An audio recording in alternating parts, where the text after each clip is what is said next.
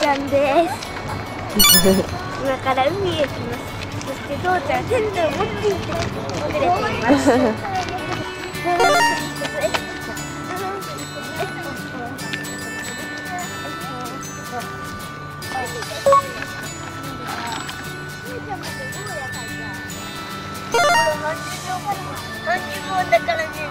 うんそうだね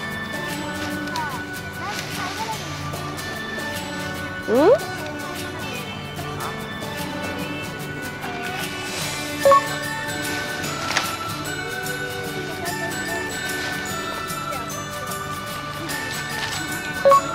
早かったね。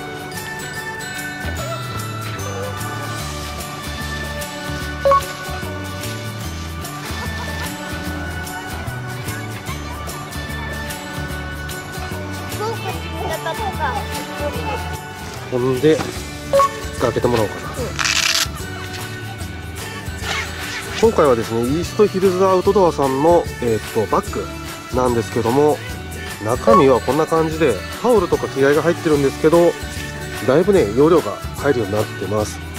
で、えーと、横はね全部メッシュ。メッシュなんで濡れてる服が入っても大丈夫と。でただこの一番下のところはえっとポリエステルかなんか布なので一番下だけはちょっと工夫する必要があるかなという感じです。でここにもねえっと入れるものがついてましてこんな感じで財布ぐらいなら入ります。で、えっとこっち側にも、えー、入れるところがあって例えば携帯とかっていうのが入れることができるようになってます。結構広いね。結構広いよね、うん、子供3人分の着替えとあとタオルが入ってもまだ全然これだけ容量が余っているのでだいぶね入るねこれは、うん、ね。夏とかに持ってくにはすごくいいんじゃないでしょうか。で、えっ、ー、とね、この下のところ、下のところがね、赤い感じでちょっとおしゃれな感じなんですが、ここはね、実は開くようになってまして、で、開いたら何があるのかっていうと、ここがクーラーボックスになってます。あ、冷やい。今、保冷剤が2つ入ってるんですけど、まあ、ペットボトル。ペットボトルはね、縦には入んないんですが、例えば350のカンカン。350の缶だったら普通に立てて入れることができます。まあ十分じゃないかなこれ。結構冷やいようん。ねね中も冷やくなってるよね、うん、あとはねこれこういうね入れ物に入ってましてこれは何かっていうとタオル。これ結構大きいんじゃないかな。あの薄手のタオルなんですけど吸水性も高いしあと速乾性のタオルらしいです、うん、またねデザインがなんか絵だな。んかなんていうのこれ。ようわからんけど。渦巻いてるね。なんていうんだろうね。ちょっと和風な感じでね。和風だね。ええかなと思います。うん。でここにねここになんかこのボタンがあってこれは多分あれだろうね、引っ掛けたりできるようになったんですねここで。なるほどね。でなんかこうこう乾かすような感じになっとるんだと思います。はいはいはい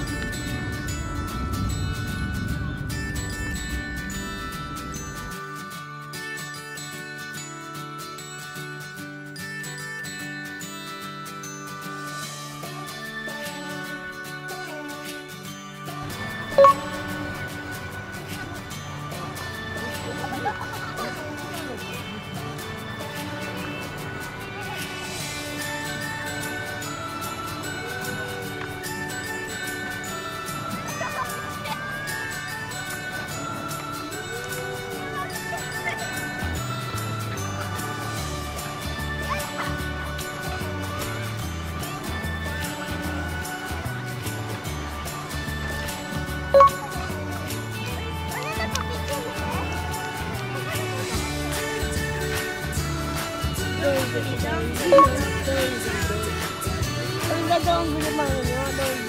あみんなで向こうで手を